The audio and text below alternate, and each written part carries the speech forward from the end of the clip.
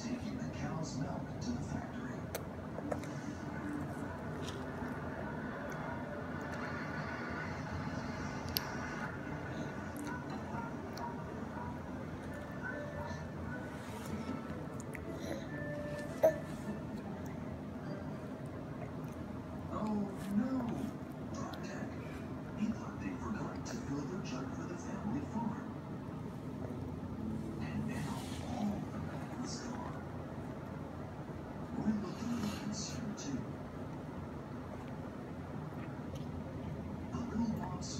as at the jug.